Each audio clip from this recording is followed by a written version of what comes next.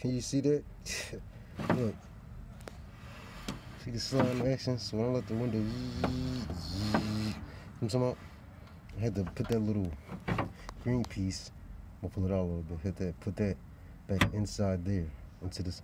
I know. Remember the piece I showed you earlier over here?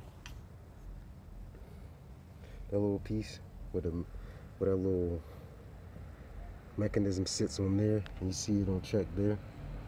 And this, uh, you can see that. However, over here is where the action really go down because it's the slide. See how I slide when you push the button, should go up, down, up, down. So I just gotta get this motor mount locked into this little area here. Again, this is, is a challenge to my mental capacity to be able to educate myself.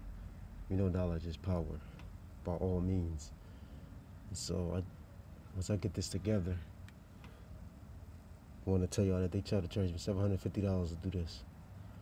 And I don't even have the right tools, to be honest with you. I'm using some makeshift tools and some old tools. I ain't got nothing electrical. Them little, you know I mean, drills and stuff like that. It just took me a few seconds to get the job done.